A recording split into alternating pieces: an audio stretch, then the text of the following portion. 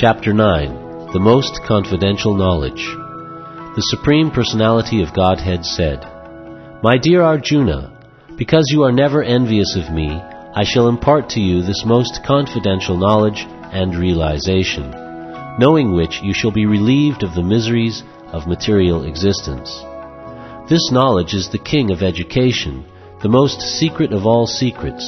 It is the purest knowledge, and because it gives direct perception of the self by realization, it is the perfection of religion.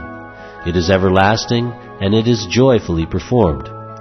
Those who are not faithful in this devotional service cannot attain me, O conqueror of enemies. Therefore they return to the path of birth and death in this material world. By me, in my unmanifested form, this entire universe is pervaded. All beings are in me, but I am not in them. And yet everything that is created does not rest in me. Behold my mystic opulence. Although I am the maintainer of all living entities, and although I am everywhere, I am not a part of this cosmic manifestation, for myself is the very source of creation. Understand that as the mighty wind blowing everywhere rests always in the sky, all created beings rest in me. O son of Kunti, at the end of the millennium, all material manifestations enter into my nature, and at the beginning of another millennium, by my potency, I create them again. The whole cosmic order is under me. Under my will it is automatically manifested again and again, and under my will it is annihilated at the end. O Dhananjaya, all this work cannot bind me. I am ever detached from all these material activities, seated as though neutral.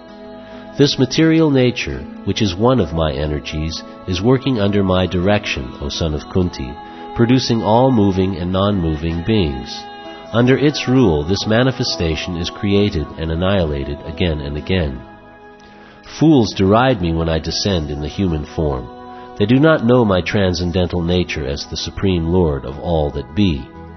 Those who are thus bewildered are attracted by demoniac and atheistic views. In that deluded condition, their hopes for liberation, their fruitive activities, and their culture of knowledge are all defeated. O son of Pritha, those who are not deluded, the great souls, are under the protection of the divine nature. They are fully engaged in devotional service because they know me as the Supreme Personality of Godhead, original and inexhaustible.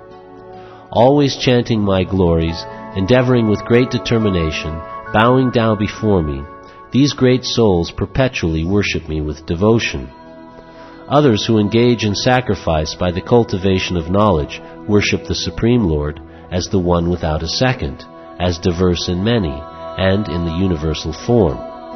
But it is I who am the ritual, I the sacrifice, the offering to the ancestors, the healing herb, the transcendental chant. I am the butter, and the fire, and the offering. I am the father of this universe, the mother, the support, and the grandsire. I am the object of knowledge, the purifier, and the syllable Om. I am also the Rig, the Sama, and the Yajur Vedas. I am the goal, the sustainer, the master, the witness, the abode, the refuge, and the most dear friend. I am the creation and the annihilation, the basis of everything, the resting place, and the eternal seed. O Arjuna, I give heat, and I withhold and send forth the rain. I am immortality, and I am also death personified. Both spirit and matter are in me. Those who study the Vedas and drink the soma juice, seeking the heavenly planets, worship me indirectly. Purified of sinful reactions, they take birth on the pious heavenly planet of Indra, where they enjoy godly delights. When they have thus enjoyed vast heavenly sense pleasure, and the results of their pious activities are exhausted, they return to this mortal planet again. Thus, those who seek sense enjoyment by adhering to the principles of the three Vedas achieve only repeated birth and death. But those who always worship me with exclusive devotion, meditating on my transcendental form, to them I carry what they lack and preserve what they have.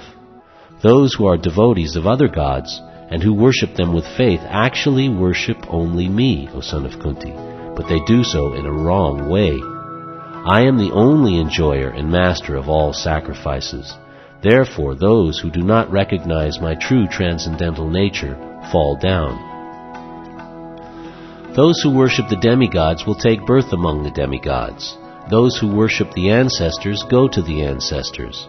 Those who worship ghosts and spirits will take birth among such beings, and those who worship me will live with me.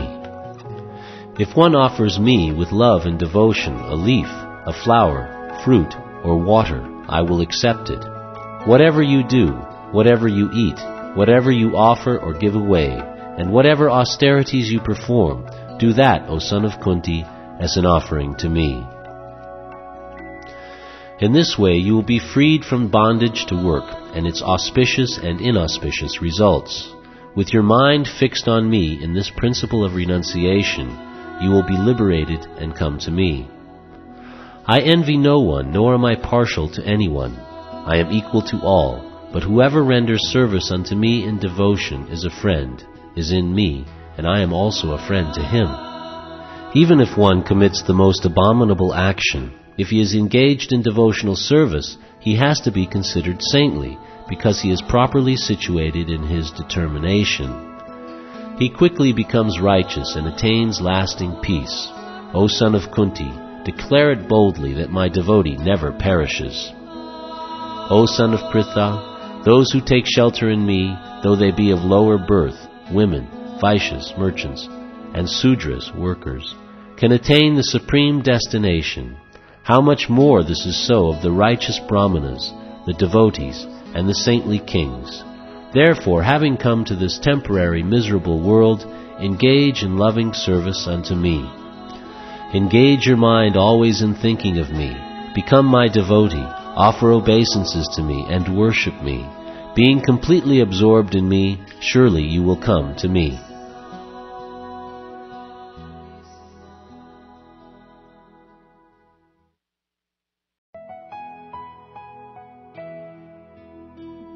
Chapter 10 The Opulence of the Absolute The Supreme Personality of Godhead said, Listen again, O mighty armed Arjuna. Because you are my dear friend, for your benefit I shall speak to you further, giving knowledge that is better than what I have already explained. Neither the hosts of demigods nor the great sages know my origin or opulences, for in every respect I am the source of the demigods and sages. He who knows me as the unborn, as the beginningless, as the supreme Lord of all the worlds, he only, undiluted among men, is freed from all sins. Intelligence, knowledge, freedom from doubt and delusion, forgiveness, truthfulness, control of the senses, control of the mind, happiness and distress, birth, death, fear, fearlessness, non-violence, equanimity, satisfaction, austerity, charity, fame, and infamy. All these various qualities of living beings are created by me alone. The seven great sages, and before them the four other great sages, and the Manus, progenitors of mankind, come from me, born from my mind, and all living beings populating the various planets descend from them. One who is factually convinced of this opulence and mystic power of mine engages in unalloyed devotional service. Of this there is no doubt. I am the source of all spiritual and material worlds. Everything emanates from me. The wise who perfectly know this engage in my devotional service and worship me with all their hearts. The thoughts of my pure devotees dwell in me. Their lives are fully devoted to my service, and they derive great satisfaction and bliss from always enlightening one another and conversing about me. To those who are constantly devoted to serving me with love, I give the understanding by which they can come to me. To show them special mercy, I, dwelling in their hearts, destroy with the shining lamp of knowledge the darkness born of ignorance. Arjuna said, You are the Supreme Personality of Godhead, the ultimate abode, the purest, the absolute truth. You are the eternal, transcendental, original person, the unborn, the greatest, all the great sages such as Narada, Asita, Devala, and Vyas confirm this truth about you, and now you yourself are declaring it to me. O Krishna, I totally accept as truth all that you have told me. Neither the demigods nor the demons, O Lord, can understand your personality. Indeed, you alone know yourself by your own internal potency, O Supreme Person, origin of all, Lord of all beings, God of gods, Lord of the universe. Please tell me in detail of your divine opulences by which you pervade all these worlds. O Krishna, O Supreme Mystic, how shall I constantly think of you, and how shall I know you? In what various forms are you to be remembered, O Supreme Personality of Godhead? O Janardana, please describe in detail the mystic power of your opulences. I am never satiated in hearing about you, for the more I hear, the more I want to taste the nectar of your words. The Supreme Personality of Godhead said, Yes, I will tell you of my splendorous manifestations, but only of those which are prominent, O Arjun, for my opulence is limitless. I am the Supersoul, O Arjun, seated in the hearts of all living entities. I am the beginning, the middle, and the end of all beings. Of the Adityas I am Vishnu, of lights I am the radiant sun, of the Maruts I am Marichi, and among stars I am the moon. Of the Vedas I am the Samaveda, of the demigods I am Indra, the king of heaven. Of the senses I am the mind, and in living beings I am the living force, consciousness. Of all the Rudras I am Lord Shiva, of the Yakshas and the Rakshasas I am the Lord of wealth, Kuvera. Of the Vasus, I am fire, Agni. And of mountains, I am Meru. Of priests, O Arjuna, know me to be the chief, Brihaspati. Of generals, I am Kartikeya. And of bodies of water, I am the ocean. Of the great sages, I am Bhrigu, Of vibrations, I am the transcendental Om. Of sacrifices, I am the chanting of the holy names, Japa and of immovable things I am the Himalayas. Of all trees I am the banyan tree, and of the sages among the demigods I am Narada. Of the Gandharvas I am Chitraratha, and among perfected beings I am the sage Kapila. Of horses know me to be Uchaishrava, produced during the churning of the ocean for nectar. Of lordly elephants I am Airavata, and among men I am the monarch. Of weapons I am the thunderbolt. Among cows I am the surabhi. Of causes for procreation I am Kandarpa, the god of love. And of serpents I am Vasuki. Of the many hooded Nagas I am Ananta, and among aquatics I am the demigod Varuna. Of departed ancestors I am Aryama, and among the dispensers of law I am Yama, the lord of death. Among the Daitya demons I am the devoted Prahlad, among subduers I am time. Among beasts I am the lion. And among birds I am Garuda. Of purifiers I am the wind. Of the wielders of weapons I am Rama. Of fishes I am the shark. And of flowing rivers I am the Ganges. Of all creations I am the beginning and the end and also the middle, O Arjun. Of all sciences I am the spiritual science of the self, and among logicians I am the conclusive truth. Of letters I am the letter A, and among compound words I am the dual compound. I am also inexhaustible time, and of creators I am Brahma. I am all devouring death, and I am the generating principle of all that is yet to be. Among women I am fame, fortune, fine speech, memory, intelligence, steadfastness, and patience. Of hymns in the Samaveda I am the Brihat Sama, and of poetry I am the Gayatri. Of months, I am Margashirsha, November, December, and of seasons, I am flower bearing spring. I am also the gambling of cheats, and of the splendid, I am the splendor. I am victory, I am adventure, I am the strength of the strong. Of the descendants of Vrishni, I am Vasudev, and of the Pandavas, I am Arjun. Of the sages, I am Vyas, and among great thinkers, I am Ushana. Among all means of suppressing lawlessness, I am punishment, and of those who seek victory, I am morality. Of secret things, I am silence, and of the wise, I am wisdom. Furthermore, O Arjun, I am the generating seed of all existences. There is no being, moving or non-moving, that can exist without me. O mighty conqueror of enemies, there is no end to my divine manifestations. What I have spoken to you is but a mere indication of my infinite opulences. Know that all opulent, beautiful, and glorious creations spring from but a spark of my splendor. But what need is there, Arjuna, for all this detailed knowledge? With a single fragment of myself, I pervade and support this entire universe.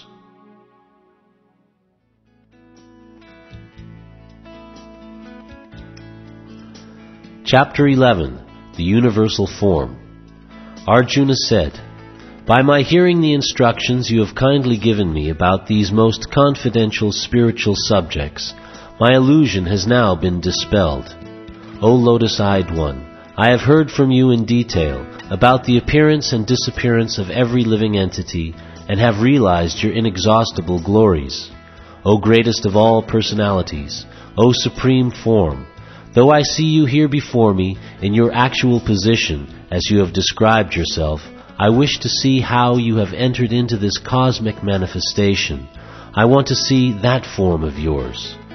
If you think that I am able to behold your cosmic form, O my Lord, O Master of all mystic power, then kindly show me that unlimited universal self. The Supreme Personality of Godhead said, My dear Arjuna, O son of Pritha, see now my opulences, hundreds of thousands of varied divine and multicolored forms. O best of the Bharatas, see here the different manifestations of Adityas, Vasus, Rudras, Ashvini Kumars, and all the other demigods. Behold the many wonderful things which no one has ever seen or heard of before. O Arjuna, whatever you wish to see, behold at once in this body of mine. This universal form can show you whatever you now desire to see and whatever you may want to see in the future. Everything moving and non-moving is here completely in one place. But you cannot see me with your present eyes. Therefore I give you divine eyes. Behold my mystic opulence. Sanjaya said, O king, having spoken thus, the Supreme Lord of all mystic power, the personality of Godhead, displayed his universal form to Arjuna. Arjuna saw in that universal form unlimited mouths, unlimited eyes, unlimited wonderful visions. The form was decorated with many celestial ornaments and bore many divine upraised weapons. He wore celestial garlands and garments, and many divine scents were smeared all over his body. All was wondrous, brilliant, unlimited, all expanding. If hundreds of thousands of suns were to rise at once into the sky, their radiance might resemble the effulgence of the Supreme Person in that universal form. At that time, Arjuna could see in the universal form of the Lord the unlimited expansions of the universe situated in one place, although divided into many, many thousands. Then bewildered and astonished, his hair standing on end, Arjuna bowed his head to offer obeisances, and with folded hands began to pray to the Supreme Lord. Arjuna said, My dear Lord Krishna, I see assembled in your body all the demigods and various other living entities. I see Brahma sitting on the lotus flower, as well as Lord Shiva and all the sages and divine serpents. O Lord of the universe, O universal form, I see in your body many, many arms, bellies, mouths, and eyes, expanded everywhere without limit. I see in you no end, no middle, and no beginning. Your form is difficult to see because of its glaring effulgence, spreading on all sides like blazing fire, or the immeasurable radiance of the sun. Yet I see this glowing form everywhere, adorned with various crowns, clubs, and discs. You are the supreme primal objective. You are the ultimate resting place of all this universe. You are inexhaustible, and you are the oldest. You are the maintainer of the eternal religion, the personality of Godhead. This is my opinion. You are without origin, middle, or end. Your glory is unlimited. You have numberless arms, and the sun and moon are your eyes. I see you with blazing fire coming forth from your mouth, burning this entire universe by your own radiance. Although you are one, you spread throughout the sky and the planets and all space between. O Great One, seeing this wondrous and terrible form, all the planetary systems are perturbed. All the hosts of demigods are surrendering before you and entering into you. Some of them, very much afraid, are offering prayers with folded hands. Hosts of great sages and perfected beings crying, All peace! are praying to you by singing the Vedic hymns. All the various manifestations of Lord Shiva, the Adityas, the Vasus, the Sadhyas, the Vishvadevas, the two Ashvis, the Maruts, the forefathers, the Gandharvas, the Yakshas, the Asuras, and the perfected demigods are beholding you in wonder. O mighty armed one, all the planets with their demigods are disturbed at seeing your great form with its many faces, eyes, arms, thighs, legs, and bellies, and your many terrible teeth. As they are disturbed, so am I. O all-pervading Vishnu, seeing you with your many radiant colors touching the sky, your gaping mouths, and your great glowing eyes, my mind is perturbed by fear. I can no longer maintain my steadiness or equilibrium of mind. O Lord of lords, O refuge of the worlds, please be gracious to me. I cannot keep my balance seeing your blazing death-like faces and awful teeth. In all directions I am bewildered. All the sons of Dhritarashtra, along with their allied kings, and Bhishma, Drona, Karna, and our chief soldiers also, are all rushing into your fearful mouths, and some I see trapped with heads smashed between your teeth. As the many waves of the river flow into the ocean, so do all these great warriors enter, blazing into your mouths. I see all people rushing full speed into your mouths as moths dash to destruction in a blazing fire. O Vishnu, I see you devouring all people from all sides with your flaming mouths, covering all the universe with your effulgence. You are manifest with terrible scorching rays. O Lord of Lords, so fierce of form, please tell me who you are. I offer my obeisances unto you. Please be gracious to me. You are the primal Lord. I want to know about you, for I do not know what your mission is. The Supreme Personality of Godhead said, Time I am, the great destroyer of the worlds, and I have come here to destroy all people, with the exception of you, the Pandavas, all the soldiers here on both sides will be slain.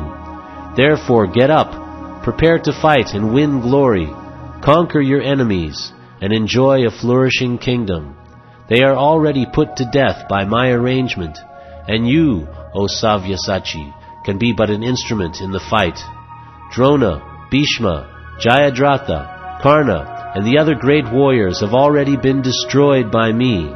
Therefore kill them and do not be disturbed. Simply fight, and you will vanquish your enemies in battle. Sanjaya said to Dhritarashtra, O king, after hearing these words from the Supreme Personality of Godhead, the trembling Arjuna offered obeisances with folded hands again and again. He fearfully spoke to Lord Krishna in a faltering voice as follows. Arjuna said, O master of the senses, the world becomes joyful upon hearing your name, and thus everyone becomes attached to you. Although the perfected beings offer you their respectful homage, the demons are afraid, and they flee here and there. All this is rightly done. O Great One, greater even than Brahma, you are the original creator. Why then should they not offer their respectful obeisances unto you? O Limitless One, God of gods, refuge of the universe, you are the invincible source, the cause of all causes, transcendental to this material manifestation. You are the original personality of Godhead, the oldest, the ultimate sanctuary of this manifested cosmic world. You are the knower of everything, and you are all that is knowable. You are the supreme refuge above the material modes. O limitless form, this whole cosmic manifestation is pervaded by you. You are the air, and you are the supreme controller. You are fire, you are water, and you are the moon. You are Brahma, the first living creature, and you are the great grandfather. I therefore offer my respectful obeisances unto you a thousand times, and again, and yet again. Obeisances to you from the front, from behind, and from all sides. O unbounded power, you are the master of limitless might. You are all pervading, and thus you are everything. Thinking of you as my friend, I have rashly addressed you, O Krishna, O Yadava, O my friend, not knowing your glories. Please forgive whatever I may have done in madness or in love. I have dishonored you many times, jesting as we relaxed, lay on the same bed, or sat or ate together, sometimes alone, and sometimes in front of many friends. O infallible one, please excuse me for all those offenses. You are the Father of this complete cosmic manifestation, of the moving and the non-moving. You are its worshipable chief, the supreme spiritual master. No one is equal to you, nor can anyone be one with you. How then could there be anyone greater than you within the three worlds, O Lord of immeasurable power? You are the Supreme Lord, to be worshipped by every living being. Thus I fall down to offer you my respectful obeisances and ask your mercy. As a father tolerates the impudence of his son, or a friend tolerates the impertinence of a friend, or a wife tolerates the familiarity of her partner, please tolerate the wrongs I may have done you. After seeing this universal form, which I have never seen before, I am gladdened, but at the same time my mind is disturbed with fear. Therefore, please bestow your grace upon me and reveal again your form as the personality of Godhead, O Lord of Lords, O abode of the universe. O universal form, O thousand armed Lord, I, I wish to see you in your four armed form, with helmeted head, and with club, wheel, conch, and lotus flower in your hands. I long to see you in that form. The Supreme Personality of Godhead said, My dear Arjun, happily have I shown you by my internal potency this supreme universal form within the material world. No one before you has ever seen this primal form, unlimited and full of glaring effulgence. O best of the Kuru warriors, no one before you has ever seen this universal form of mine, for neither by studying the Vedas, nor by performing sacrifices, nor by charity, nor by pious activities, nor by severe penances, can I be seen in this form in the material world. You have been perturbed and bewildered by seeing this horrible feature of mine. Now let it be finished. My devotee, be free again from all disturbances. With a peaceful mind, you can now see the form you desire. Sanjaya said to Dhritarashtra, The Supreme Personality of Godhead, Krishna, having spoken thus to Arjuna, displayed his real four-armed form and at last showed his two-armed form, thus encouraging the fearful Arjuna. When Arjuna saw Krishna in his original form, he said, O Janardana, seeing this human-like form so very beautiful, I am now composed in mind and I am restored to my original nature. The Supreme Personality of Godhead said, My dear Arjun, this form of mine you are now seeing is very difficult to behold. Even the demigods are ever seeking the opportunity to see this form which is so dear. The form you are seeing with your transcendental eyes cannot be understood simply by studying the Vedas, nor by undergoing serious penances, nor by charity, nor by worship. It is not by these means that one can see me as I am. My dear Arjuna, only by undivided devotional service can I be understood as I am, standing before you, and can thus be seen directly. Only in this way can you enter into the mysteries of my understanding. My dear Arjuna, he who engages in my pure devotional service, free from the contaminations of fruitive activities and mental speculation, he who works for me, who makes me the supreme goal of his life, and who is friendly to every living being, he certainly comes to me.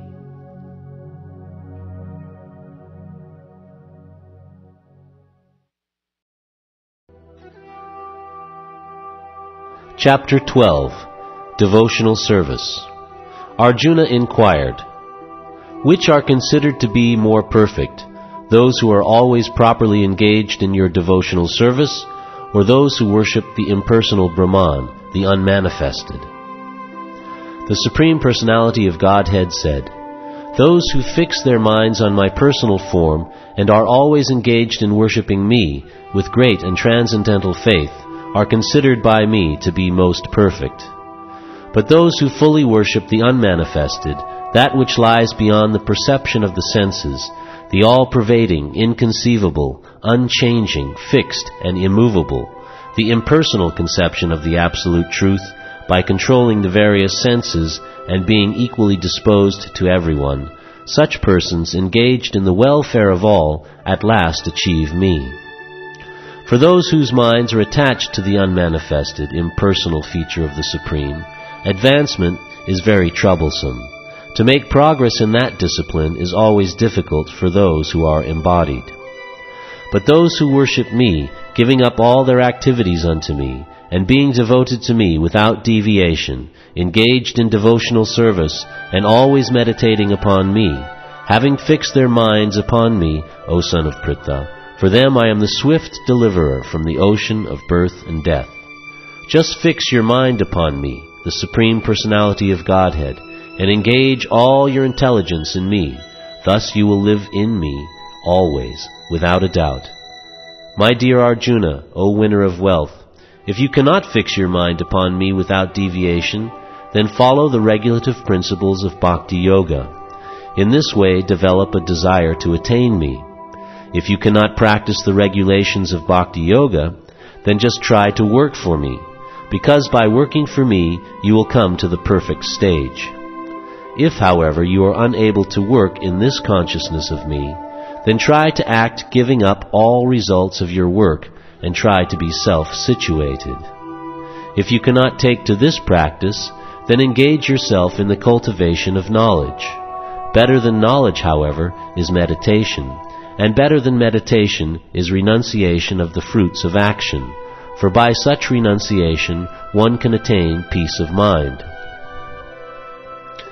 One who is not envious, but is a kind friend to all living entities, who does not think himself a proprietor and is free from false ego, who is equal in both happiness and distress, who is tolerant, always satisfied, self-controlled, and engaged in devotional service with determination, his mind and intelligence fixed on me, such a devotee of mine is very dear to me. He for whom no one is put into difficulty and who is not disturbed by anyone, who is equiposed in happiness and distress, fear and anxiety, is very dear to me. My devotee who is not dependent on the ordinary course of activities, who is pure, expert, without cares, free from all pain, and not striving for some result, is very dear to me.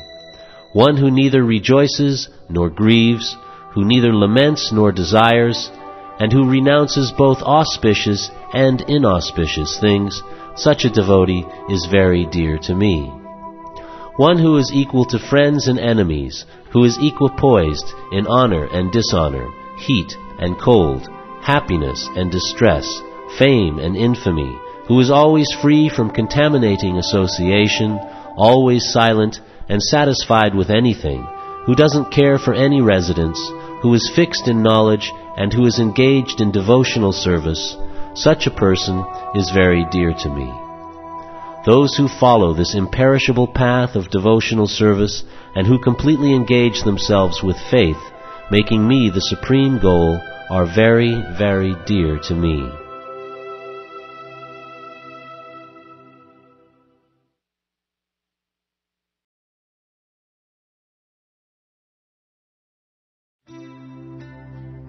Chapter 13 Nature, the Enjoyer, and Consciousness. Arjuna said, O my dear Krishna, I wish to know about Prakriti, nature, Purusha, the enjoyer, and the field and the knower of the field, and of knowledge and the object of knowledge. The Supreme Personality of Godhead said, This body, O son of Kunti, is called the field, and one who knows this body is called the knower of the field. O scion of Bharata, you should understand that I am also the knower in all bodies, and to understand this body and its knower is called knowledge. That is my opinion. Now please hear my brief description of this field of activity and how it is constituted, what its changes are, whence it is produced, who that knower of the field of activities is, and what his influences are. That knowledge of the field of activities and of the knower of activities is described by various sages in various Vedic writings. It is especially presented in Vedanta Sutra with all reasoning as to cause and effect. The five great elements false ego, intelligence, the unmanifested, the ten senses and the mind, the five sense objects, desire, hatred, happiness, distress, the aggregate, the life symptoms, and convictions. All these are considered in summary to be the field of activities and its interactions.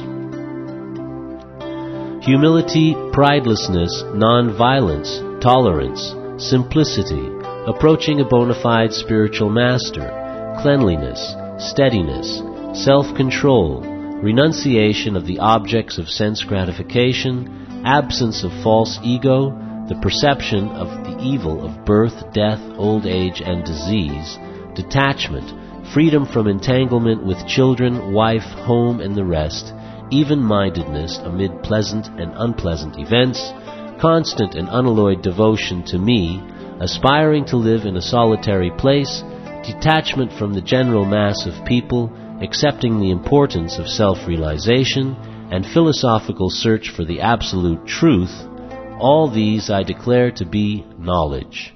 And besides this, whatever there may be, is ignorance. I shall now explain the knowable, knowing which you will taste the eternal. Brahman, the spirit, beginningless and subordinate to me, lies beyond the cause and effect of this material world. Everywhere are his hands and legs, his eyes, heads, and faces, and he has ears everywhere. And in this way the Supersoul exists, pervading everything. The Supersoul is the original source of all senses, yet he is without senses. He is unattached, although he is the maintainer of all living beings.